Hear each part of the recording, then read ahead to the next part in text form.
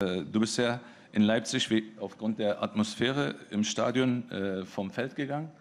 Äh, und hier in Besiktas wird die Atmosphäre auch ziemlich laut sein. Können wir davon ausgehen, dass du hier auch vom Feld gehen wirst? Ja. Also, also es geht nicht um mich, sondern um Timo Werner. Achso, Timo, Timo Werner. Werner. Ja. Der hat hier gespielt und dann ist er vom Platz gegangen, weil es zu laut war. Timo Werner'ya sormuş. Değil mi? Timo Werner ile ilgili. Timo Werner burada maç oynayamamıştı. Sesten dolayı. Bu onlar için baskı hissettirir mi?